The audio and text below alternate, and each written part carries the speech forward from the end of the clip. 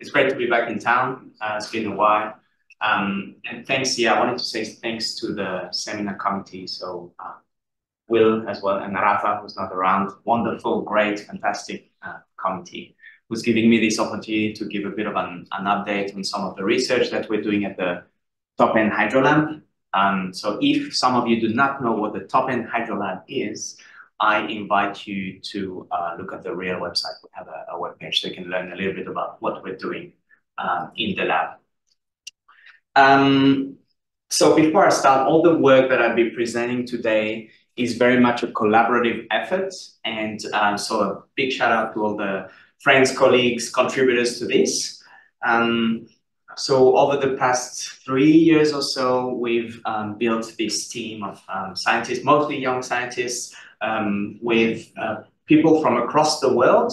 I think we're 30 in total, and we've got 16 nationalities represented.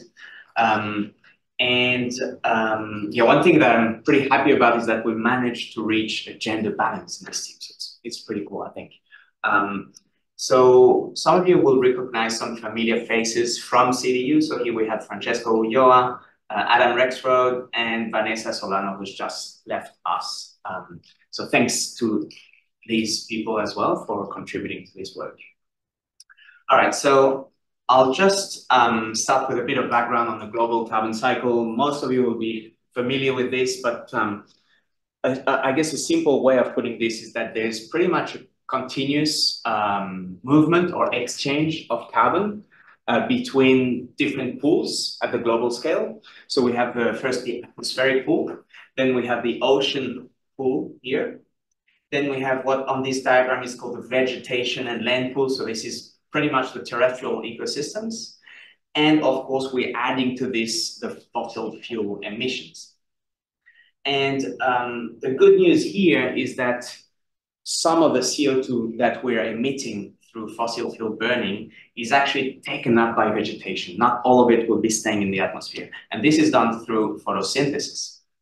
And it's important because if you look at this diagram here, the two fluxes, the one coming into the terrestrial ecosystem pool and the one coming out of it, there's a net, a positive net difference, right? You see there's six units here. It doesn't really matter what the units are, but what's important is that we are actually increasing this storage of carbon, as Lindsay knows. Um, and um, this is what we call the terrestrial sink or the land sink. We are um, yeah, storing more and more carbon in the sink. And this sink has actually been increasing over the past decades uh, as we've been adding more CO2 into the atmosphere. This is pretty much um, a fertilization effect. So we're fertilizing vegetation with our CO2 emissions. Um, so that's kind of the good news part of the story. Um, yeah, this, this illustration is just to give you an idea of how massive these terrestrial stores can be, including in some of the ecosystems that we have up here in the top end, so wetlands, tropical savannas. And so every year there will be more of this carbon through the terrestrial sink that enters this massive store. Again, I said that's the good news side of the story. now the bad news is um, that not all the carbon that is fixed by vegetation actually stays in this store. Some of it will be leaking out of the store. And there's several, um, I guess, two major um, leak or loss pathways that people, this one people generally think about it quite easily, especially up here, fire. Fire is indeed a loss of terrestrial carbon. It's um, kind of unavoidable, although you can reduce this, this uh, flux. Uh, and that's pretty much what is being done up here uh, in the in Northern Australia with you know, one of the best fire management uh, programs in the world where we are doing justice, trying to reduce what we lose through fire by doing early season fires. So that's the kind of um, obvious uh, loss of terrestrial carbon, but there's another pathway that is not necessarily so, um, that people don't necessarily think about. And this one is related to inland waters. So what I call inland waters, it's uh, anything between uh, streams, rivers, lakes, wetlands, reservoirs, anything that contains fresh water. And the reason for this um, pathway is that these in uh, yeah these inland waters are so tightly connected with the surrounding environment that they will be receiving a lot of carbon. Uh, they can be receiving carbon through direct runoff. So for instance, you have a, a rainfall event, you will have say some leaf litter or woody debris that will reach rivers. But then you can also get um, uh, an input through the subsurface, through groundwater. And in this case, the carbon species will be a little bit different. They will tend to be dissolved. So dissolve inorganic carbon, dissolve organic carbon. But so at the end of the day, we have all this carbon, all this terrestrial carbon that enters rivers, lakes, uh, and wetlands. Then what happens? Well, the next step is the export once, once the carbon is in the river. We have two, again, two main pathways of export. And the first one is shown by these uh, vertical red arrows. And this is the emission or degassing pathway at the surface of rivers. So what's, what's happening here is that you have organic carbon in the river that will be decomposed by microbial activity. And, um, and as it's decomposed, it releases either CO2, carbon dioxide, or methane, uh, CH4. And if you have a little bit of turbulence in your river or in your lake, then these gases that are dissolved in the, in the water column will actually be um, getting across the water-air interface, and you'll get some leaks. Um, also, you can have this, you can think about a wetland. In wetlands, you don't really have a lot of turbulence. However, you have so much um, methane uh, production in the sediment because you have anoxic conditions that you will also have a very high emission rate at the end. That's the first pathway. The second pathway, these are the, the blue um, the blue arrows some of the carbon will actually make its make its way to estuaries, to um, oceans, and then once in oceans, some of it will settle in the sediment and enter another sink, which we call the ocean sink. But some of it will also get released, um, decomposed, and ultimately released as CO2 And here it's really important that we um, start including these aquatic export pathways of carbon in our carbon budgets, just like what we're doing with fire at the moment. We need to start doing this for uh, rivers and lakes. Because if we don't, it means that um, we might be overestimating the, the ability, what we think is the ability of ecosystems to store carbon, the storage potential, in other words. We might be overestimating this. Okay. Oh, yeah. So I should say that in this presentation, I will just talk about um, the emission pathway. All right. So um, there's a lot of evidence. There's more and more evidence actually that um, much of these aquatic carbon emissions occur in the tropics. And the reason is quite simple. It's because we have in the tropics, um, we have high temperature all year round. We have high rainfall rates, at least seasonally. And so all this will promote very high um, uh, primary productivity, high vegetation growth. And so you'll have so much carbon that will then uh, be reaching rivers, much more than in temperate areas. And here I'm just going to show you a few um, quotes from some key papers. Basically, in the last decade or so, there's been this, um, I guess, uh, increasingly accepted view that uh, the tropics are a hotspot for carbon emissions. And yeah, this is these are just a few examples. So in 2013, Raymond and colleagues um, uh, provided the first assessment of carbon dioxide emissions from streams from inland waters, and they wrote that tropical lakes contribute disproportionately, constituting only 2% of the global lake area, but accounting for 34% of the global lake emission. Uh, more recently, in 2022, Liu and colleagues uh, wrote that across climate regions, tropical rivers are responsible for 57% of the global emission, more than temperate and Arctic regions combined. And one last here, um, the last assessment for methane emissions from rivers and streams, where the author wrote that owing to high CH4 concentrations and extensive riverine area, the tropics account for the largest share of global emissions. So we do have, and there's evidence, we do have reasons to think that in the tropics, there is uh, the, the, I guess the, the CO2, the greenhouse gas emissions are really, really concentrated in this particular area of the, of the planet. But there is a caveat to that. And the, the, the, limitation here is that we do not have a lot of observations, a lot of measurements in, um, in the tropics. And historically, this is explained by, you know, uh, the fact that in many developing countries, there's lacking infrastructure, uh, limited funding, sometimes political instability. Um, and so to kind of rectify this, uh, there's been a lot of efforts, recent efforts in um, in getting observations and measurements in rivers of the tropics. And there's been two main areas of interest. Uh, as you see on this picture, on this map, don't worry too much about the colors, just look at the red points. So here we see a lot of values uh, obtained in the Amazon basin and a lot of values obtained in the Congo basin. These two rivers are what, what they look like, um, very flat areas, lots of rainforest around. And so it makes sense that there's a lot of um, data, uh, new data that have been obtained there because we know that these two basin, these two river basins will contribute a lot to the flux, right? But by getting um, pretty much all our observations from these sort of uh, systems, we might be introducing a bias, an observation bias. We might not be capturing um, the, the diversity, the tropical diversity. The reason I'm saying this is because the tropics are actually incredibly heterogeneous. Here, I'm just showing you a few pictures to emphasize this point. Um, these are all tropical landscapes that do not really um, look like uh, the, the, the, Amazon basin or the Congo basin, but they are also tropics. Uh, so we have the savanna, wetlands. Here we have also mountainous areas. This is an example in Colombia, the Paramo.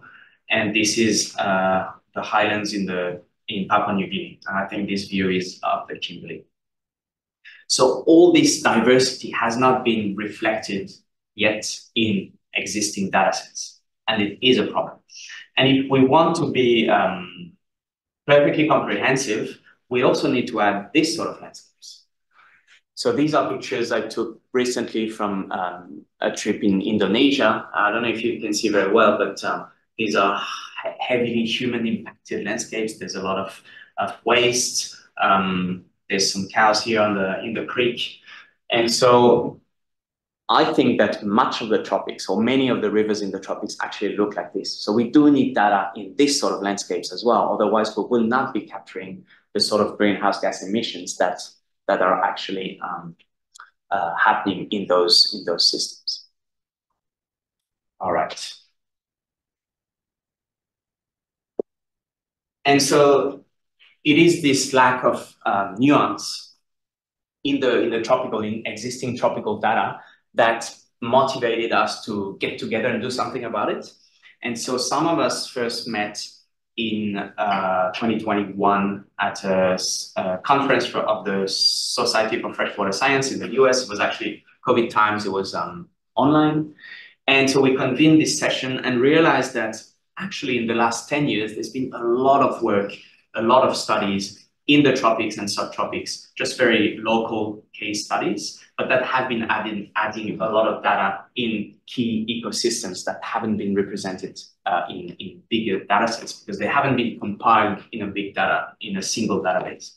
And so we thought we should leverage all these new um, studies and build a database with that with the objective to refine estimates of the tropical inland water greenhouse gas flux, to explore the drivers, the variations, spatial temporal variations, identify potential hotspots within the tropics, uh, data gaps, etc. That was kind of the idea. And we decided to partition the tropics into five climatic subregions. Um, so I should say that we decided to include the subtropics, up to 30, 34 degrees latitude north and south.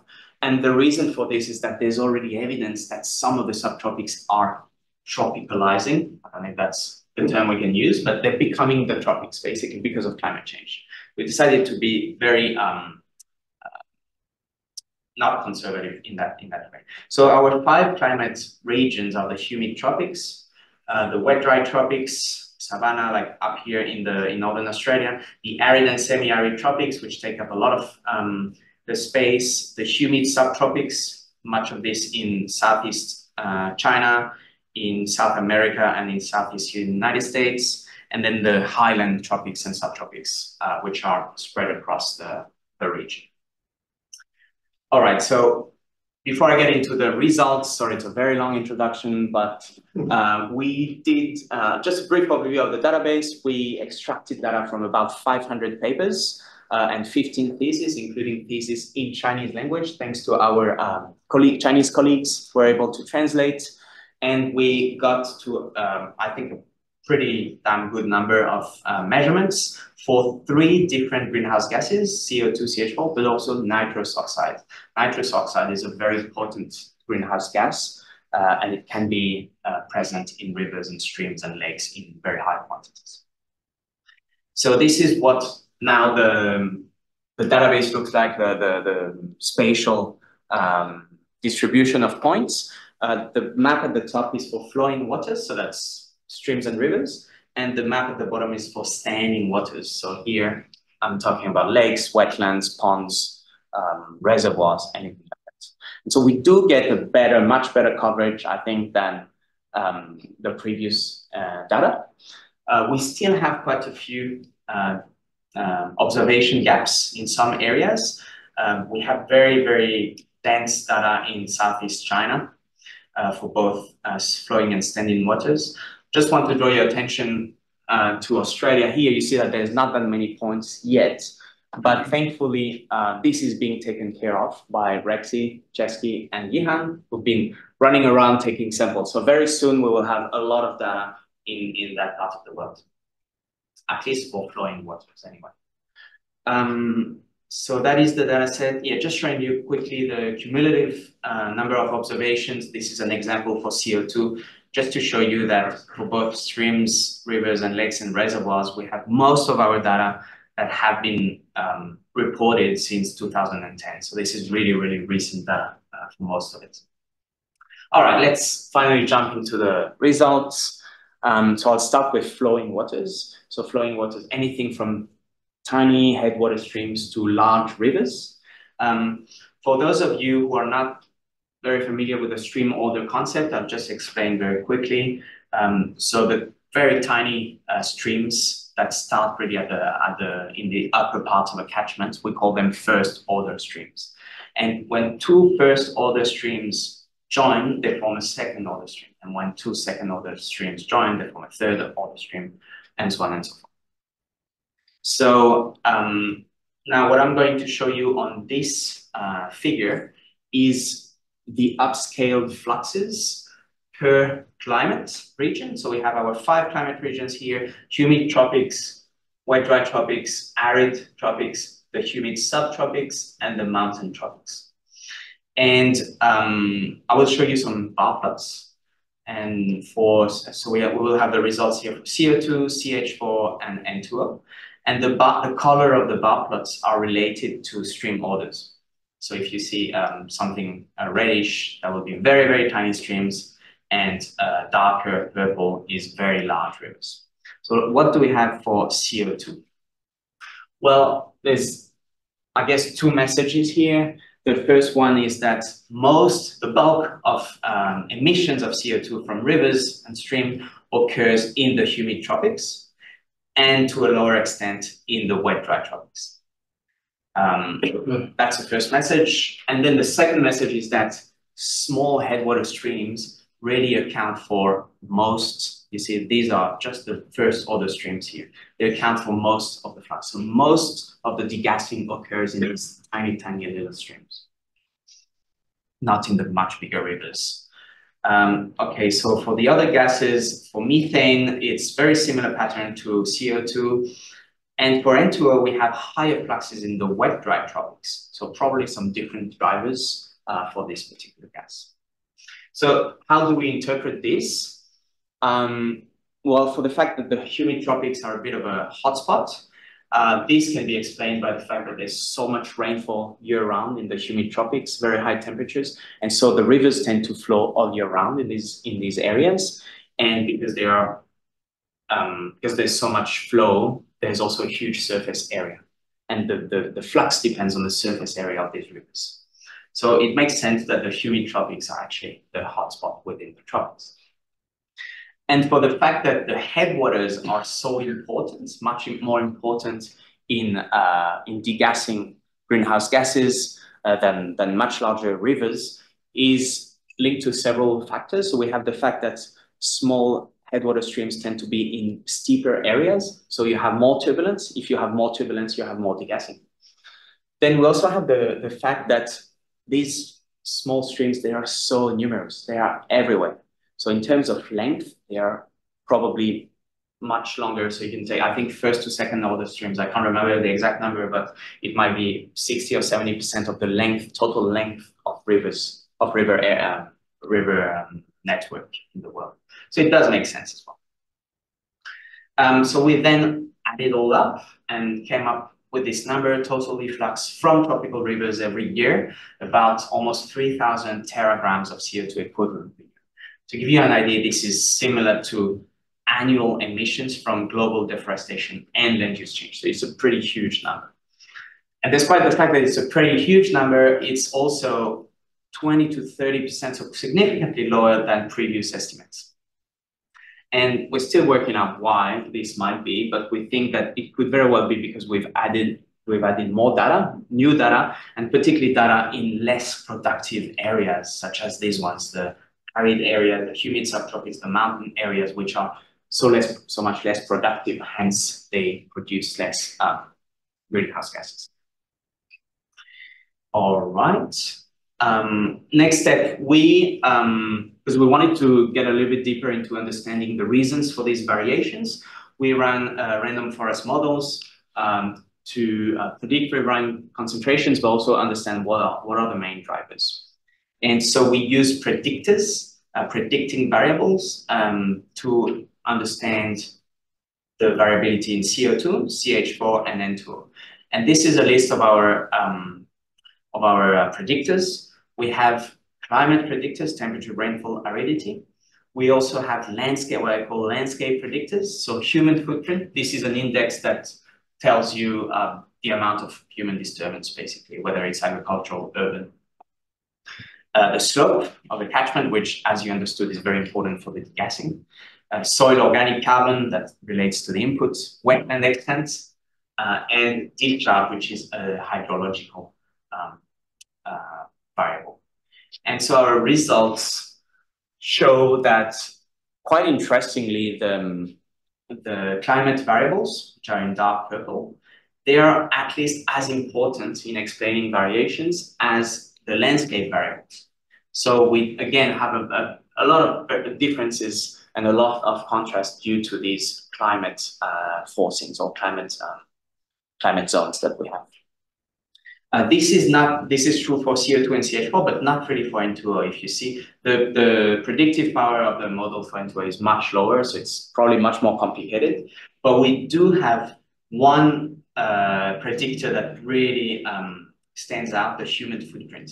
So here we, we clearly have an importance of you know what is on the catchment, what's getting into the river, which does make sense as well. And human footprint is also quite uh, important as a feature for CH4 and CO2. And this really tells us that we really need to get more data into these these um, these small streams or big rivers that are heavily impacted by humans. All right, I'll uh, move on to the results for standing water bodies. Uh, I won't go into so much detail for these ones, but uh, just want to show you an overview of the of the different the distribution of fluxes. So here we're going to look at the distribution of fluxes per. We've separated the data per um, water body type. So we have lakes, reservoirs, ponds, and wetlands. So in wetlands, there's anything such as floodplains, uh, swamps like riparian swamps. Um, flooded tree, uh, flooded forests, uh, but also paddy, uh, rice paddies. And we also look at the differences across our five climate variables, sorry, climate regions.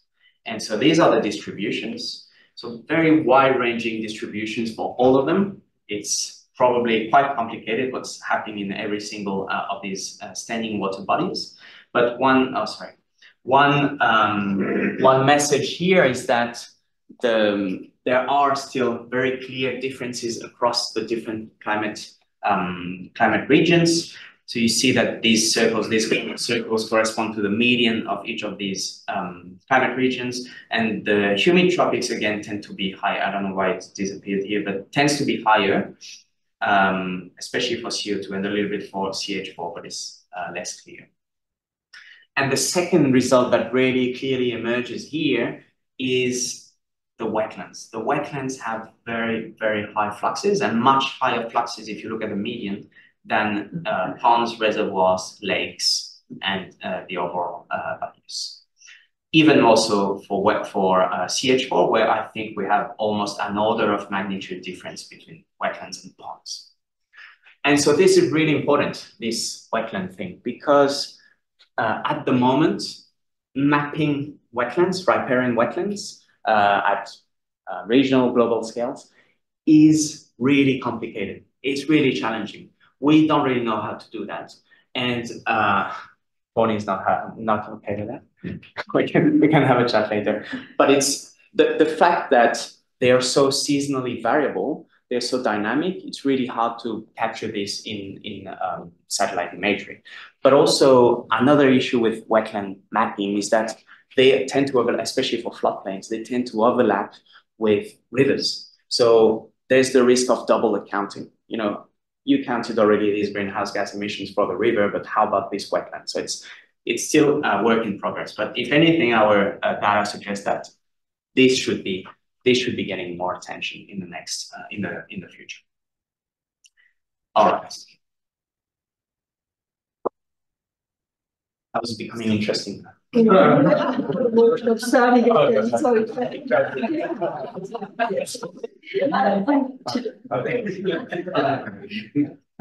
um, it's true because I'm now going to actually completely shift gears and um, kind of um, touch on a question that we very often get from people. And people um, very often ask us, okay, great that you're measuring all these fluxes in rivers, in lakes, that's awesome. But can we do anything about it? Is there a way uh, through management, whether it's land management, water management, is there a way to decrease these emissions? And the answer is actually yes. In some cases, there might be ways to decrease these emissions. And I'll give you three examples of this starting with something that's very close to home, uh, the control of feral animals. So you all know the, the impact of feral animals on wetlands. Um, they, they will damage, you know, in terms of water quality, biodiversity, etc. But there's also consequences on the carbon budget of these wetlands. And so the, the, the, the main um, damages or the main aspects, impacts are, there are three at least. Uh, because these animals will be trampling uh, the wetland, there will be a decrease in the carbon storage in the soil. Uh, then, because they will be, again, trampling and defecating and all that, there will be potentially increased emissions. You will uh, become, the, the system will become anoxic, and so methane will be produced. So increased emissions. And in case of floodplain, when you're connected to a river, you can increase the export of organic carbon, what I call DOC, POC, so the dissolved or particulate organic carbon. So there probably is a benefit, a carbon benefit in uh, controlling these, these ferals. And there's actually quite a few projects at the moment on this. So the this project uh, from NESP uh, Marine and Coastal Hub, um, led by both UQ University of Queensland, uh, feral ungulate control to reduce greenhouse gas emission from wetlands, and I know of another project that's here at CDU with Lindsay and is it Rachel Broom? Rachel Broom. Rachel Broom, who are also looking at just that. Very um, for that. Yeah. And um, and so the, the the idea, hopefully within a few years, is that once we have more evidence about the actual benefits, the carbon benefits of whether culling or fencing these wetlands to avoid, you know, these um, these damages by by ferals, we could potentially start developing um, carbon abatement methodologies uh, where, you know, then we could be tapping into big uh, funds such as the emission reduction fund. So there, there is a lot of potential here that we're still in the stage of needing more data uh, on, on what the actual benefits are. That was for the first example. The second example, completely different, beach cleaning in Scandinavia, in Sweden in particular. Um, so in Sweden, there's a massive um, forestry industry. They have pretty much forest everywhere, and it's um, it's all logged um, very frequently. And they also have ditches because they had to um, drain the land. So they have thousands of kilometers of ditches uh, across the country. And they started, and these ditches are full of sediment and they emit a lot of greenhouse gases. So some colleagues started to think, to wonder what would happen if we actually clean those ditches? Could we be um, could we be more carbon neutral? Because the yeah, I should have said that the, the goal of the industry is to be actually carbon neutral. So there's there's a lot of um, interest in these sort of um, questions.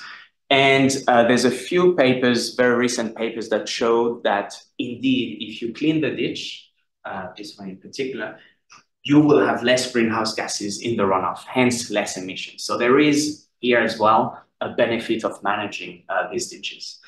I think I just after reading this one, I just found this one which actually contradicts uh, the first paper, saying that if you clean the ditch, you will get rid of the moss on the ditch, and this moss kind of acts as a trap for, for methane. So jury is still out. We still need more data to to to to yeah to inform um, decision, I guess, and to to get better idea of what's really going on. Um, that was for the second one. And the third one, again, close to home, uh, about riparian vegetation. So riparian vegetation is this very thick and dense uh, strip or corridor of, um, of vegetation around, around, along streams and rivers. And these, um, these riparian strips, they are, of course, they are a biodiversity refuge. They're very important for ecosystem services, but they also are a massive store of carbon. They're organic soils. There's a lot of carbon in there. And um, they are also very highly vulnerable to fire. I don't know if you see very well, but this is uh, a riparian zone that doesn't exist anymore because it's been completely burnt. And so there's no data on this. It's pure speculation at this stage. But I'm thinking that the loss of this riparian buffer will um, will have damages on the on the carbon um, on the carbon storage of this. So we'll have increased particulate load, especially in those first flashes in November, December, uh, because we don't really have this physical barrier that prevents all the you know the charcoal and stuff to get into the, the stream of the river. But we might also be decreasing the dissolved carbon load because we probably have less um, microbial activity in the soil because of, of fire. So as you see, there's a lot of things we still don't know, but I think there's potential here as well to, all in all, to, to increase uh, carbon storage by protecting these riparian uh, habitats. And I think Chesky is quite interested in these questions, so we might know in the near future a little bit more about this. Um, I think that is it. Yeah, just a few take-home messages. Are we good with time, Hannah? Yeah, so good. Awesome. Um, so we saw that the tropics are really diverse. And so scaling fluxes from major river systems such as the Amazon and the Congo is not going to work for the whole region. So we need data from different that, that can actually capture this diversity. When capturing a little bit more this diversity with all these data, these new data, we found that groundwater fluxes may be lower than previously thought. Um, we still need to get more data in uh, data poor areas, such as the semi-arid areas with flashy hydrology. It's really hard to be there at the right time because it uh, doesn't last very long. But we do need that. Uh, we need to better integrate floodplain fluxes, and I know there's a lot of work on wetlands at the moment in, in RIEL, which is great. Um, and yeah, just mentioning the, the importance of human activities and the fact that land management in some cases can help uh, reduce aquatic greenhouse gas emissions, but much more work is needed on this. I think that's it. Thank you.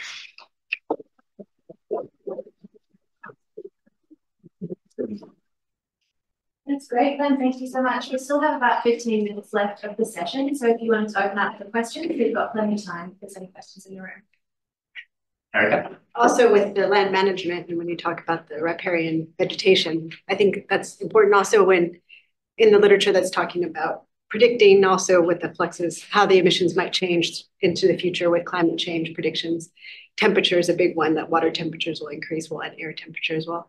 So I think that riparian veg would also moderate the temperature changes that are happening. Very, very true. Yeah. Especially in those smaller, you know, the first and second. Okay, yeah, yeah. So with a lot of effects, both in terms of biodiversity, but also we know that um, greenhouse gases are much less uh, soluble when the temperature is higher, right? So you will have potentially much higher emissions if you increase the temperature. Yeah. Point. Yeah. So thank you again. That's a fantastic presentation. Anyways, the question is, uh, when you say like the inland wetland, they actually capture the carbon. Also that carbon is dissolved when it gets fed by the groundwater. So my question is, is there any ratio, like which one higher, like whether the dissolving carbon or whether the carbon which capture storage? Very good question. Uh, I don't think, I think it would be extremely um, system dependent. So one, one uh, wetland would be completely different mm. from the other.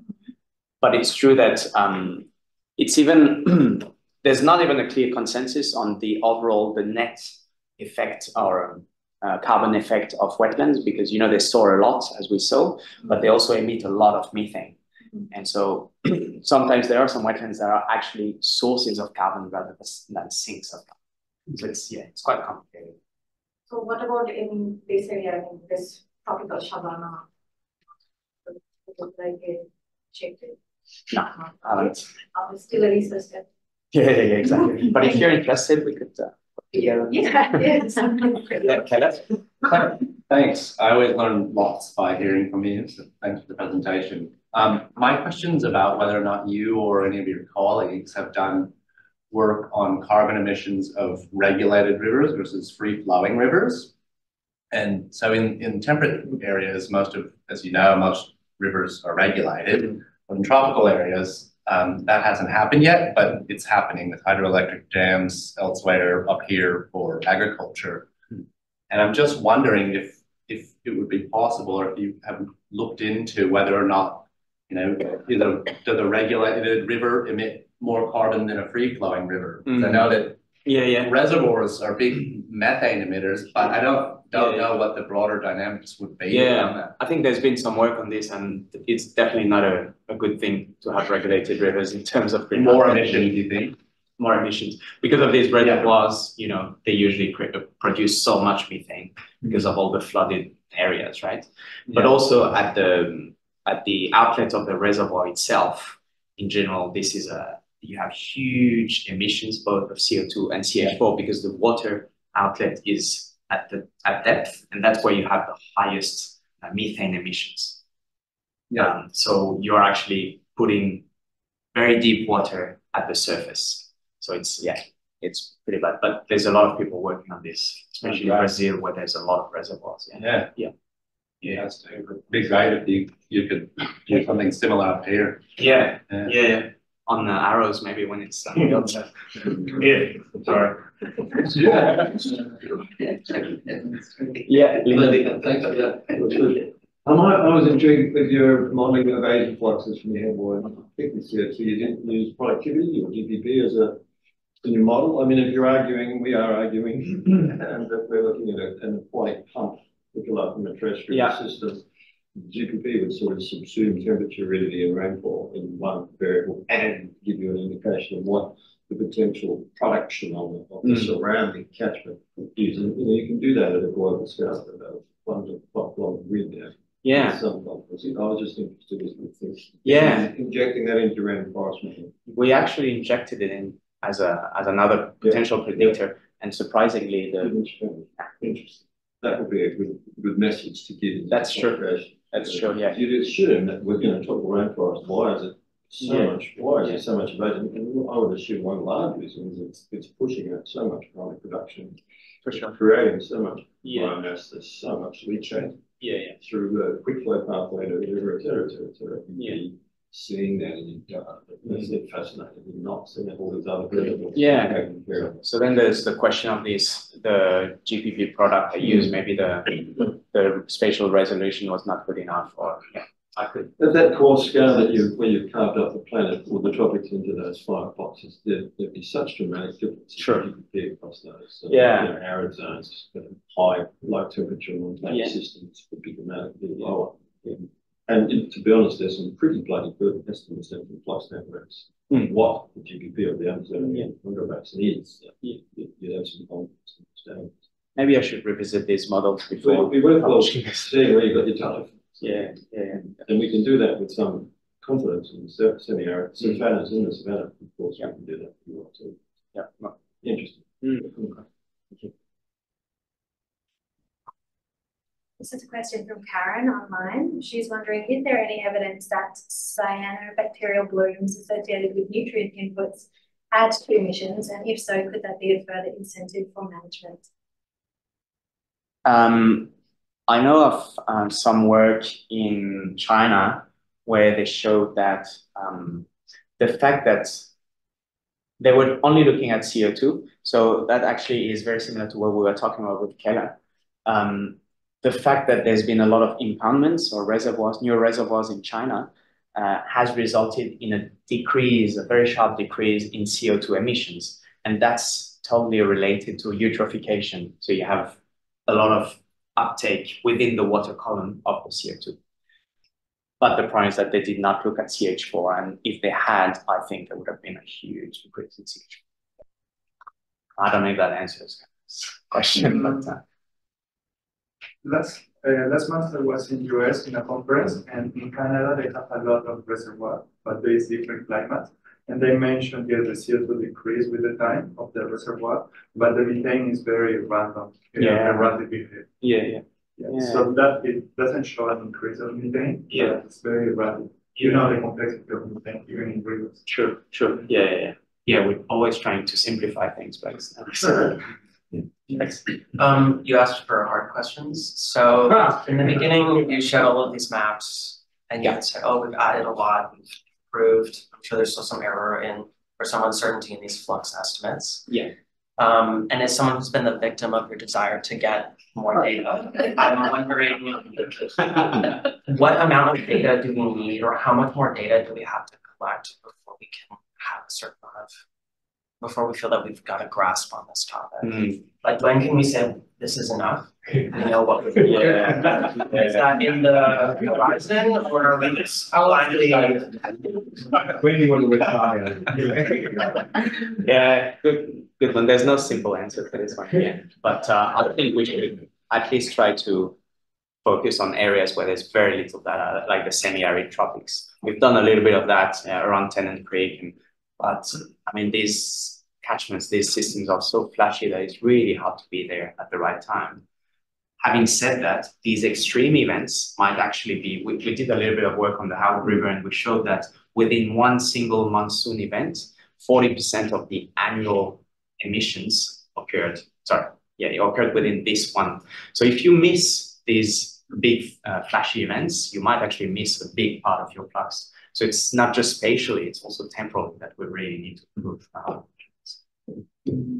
And since you are, sorry, since you are talking about semi-arid uh, rivers, uh, how do you address the issue of the seasonality of the rivers? Some of them, they are intermittent, you know? Yeah. So, and you already, you gave us some calculations, so did you address this in your calculation? Yeah, we do. We do include the fact that uh, so we we use some sort of flow intermittency index in our calculation. So it is we know that in the arid tropics there's a lot of potential rivers, but they're almost always dry, right? So we do take this into Yeah, but as you say, the hot moments also, I'm sorry. Uh, the hot moments, like if you don't catch the, your sampling during the first event, you're missing a huge amount of fluxes, right? Yeah, yeah. There's a lot of uncertainties. Uh, like in any global Yeah. uh, scale analysis, it's yeah huge uncertainties. Yeah, Jenny. Oh, thank you. It's just wonderful hearing what you've been doing. But I was just thinking about um, getting further into the, you know, arid tropics and the fact there was a huge rain event down the down around Newcastle waters, so Elliott, you know, getting towards Tennant Creek, and they reported a big fish kill. Yeah. And that usually occurs because you've got all that organic matter is suddenly being mobilised and you've got Yeah. bacterial activity. So I was wondering whether you've got studies where but you know, you can only capture it in, as you say, it's really hard to Mm. capture. You can capture the flooding with satellite imagery, but if you combine that with experiments where you flooded, you know, cores, Yeah. uh, people doing that so that you've got experimental data that's very small scale, but could be exactly what's happening at that soil water interface. Yeah, there's very few uh, studies working on this, what we call the particulate organic matter or organic carbon. There's very, very few, but I know of some people starting to use satellite imagery to actually look at this.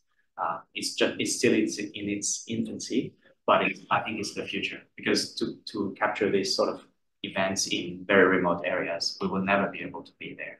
Right. And actual numbers you could use for carbon by just doing cores of flooding cores of Yeah. soils from that landscape. I see what you mean. Yeah, With yeah. different amounts of leaflet. Yeah, that's a good point. Yeah, I, am not aware of any There's a lot of core experiments have been done in the past, more to answer questions about nutrient. Yeah.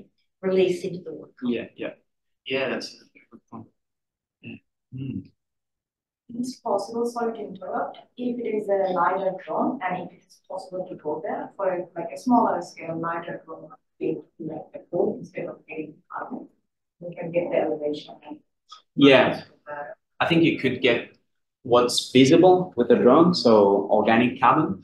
But when it comes to dissolved inorganic carbon and the gases, I can't see them. That's the main problem.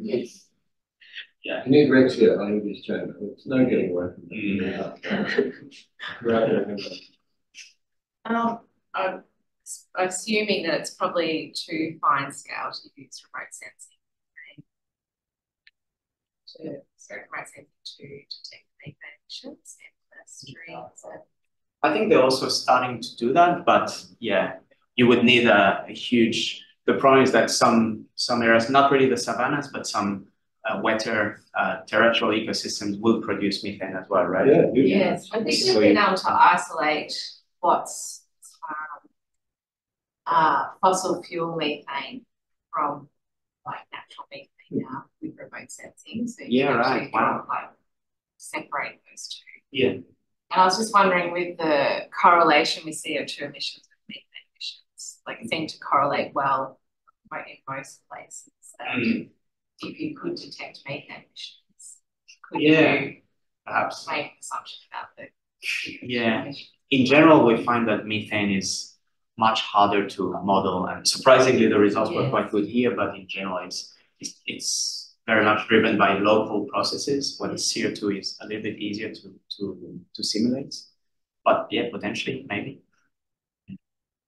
Great ideas. Yeah, I'm just curious, when you showed the spatial distribution of the studies, I think from nineteen seventy-three to last year. Yeah. And I was just looking at Africa and you see a lot of studies there, right? Yeah. I was just wondering, nineteen seventy-three, what methodology were they using? Because collecting that is really a big challenge even at the moment. Yeah. So just curious to Um, know the kind of methods they're using to, Yeah, pretty much the same methods are what we're using now. did you? Yeah, did you like- gas chromatography. So sampling, um, like keeping a sample of the of the gas. Yeah. So just headspace method to equilibrate, and then you you analyze your sample of gas chromatography. It's really quite basic actually. But they were not doing now what we tend to do. We do more isotope uh, measurements, whereas at the time they were just doing the concentrations. Yeah. Oh yeah, the covariance are right. Yeah, now I'm trying to build a network right there. The other thing is um with the feral animals. Mhm. Sometimes I see that I feel like, I don't know, I think it's just an overhype. Yeah. Because um they, they, well, now people doing studies on it, but even if we focus on only feral animals, Mhm. I think size will matter, right? Mhm. In terms of the size of this animal, in Mhm. terms of particularly when they see um the met- methane emission in wet Mhm. land areas.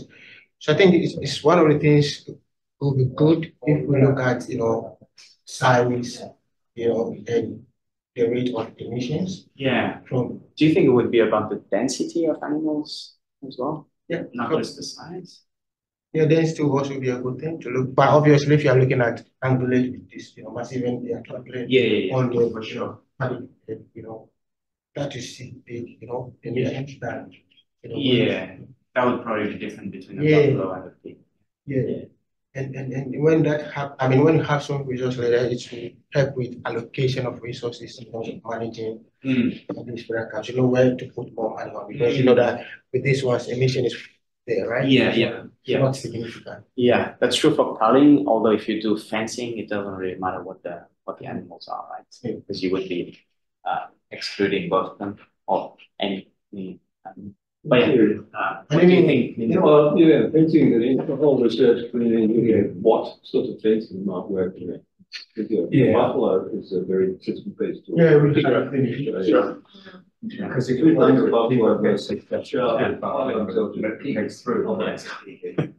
They've been um fencing um wetlands in North Queensland, right? She's trying to prove something. So That's, feral that's sort of an experimental thing at the moment, but Yeah. it's showing promise. Um, yeah, it's expensive to do Yeah. and, and difficult to maintain. Yeah, and it's a long-term thing, yeah. Long term, and then, then wet season is what, you know, start fencing it, you get a massive wet season, it's the last year, and then that's two hundred grams worth of fencing. on. And if you do the economics, um, there's a whole seminar. on it. Mm.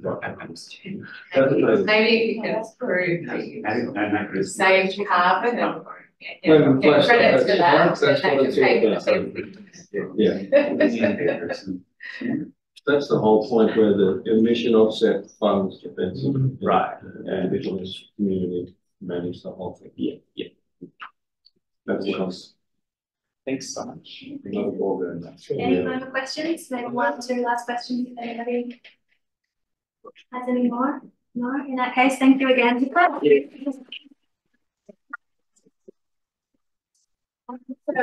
Yeah, big thanks to Clem. Thank you also all for attending here in person and online. Um, thanks to the Northern Institute as well, who always kindly let us use this lovely. Um, please keep an eye on our seminars page for our upcoming topics. In two weeks from now, we'll hear from Sunil and two weeks after that from Lindsay. So we hope you'll all be able to come along to those sessions too. Um, and for everyone who's here, please head over to Yellow 2 for um, the RIEL morning tea, which starts at 10.30. Thank you.